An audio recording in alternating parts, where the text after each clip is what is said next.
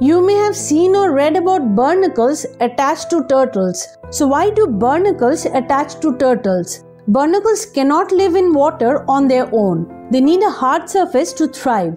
A turtle shell is one such hard surface. Barnacles need constant water movement so they settle on any moving substrate.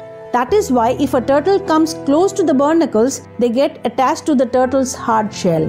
They secrete an adhesive substance that enables them to stick to any hard surface around them.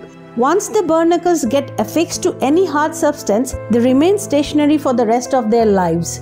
Barnacles use their legs to pull food from the water. Studies show they may be able to feed effectively if they are positioned so that currents push food particles into their fan. If you put a barnacle with no flow, it does nothing. It will die. It relies 100% on passive feeding, so it really has to be in a high flow environment all the time. This makes sense if you are living on a turtle, you are going to get a lot of flow. But do they hurt turtles? Though barnacles are not fatal for turtles, the overloading of barnacles will prevent the turtle from moving swiftly.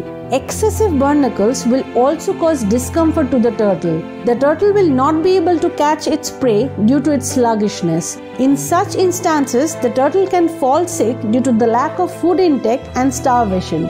Another impact of barnacles on the turtle will be on its swimming ability.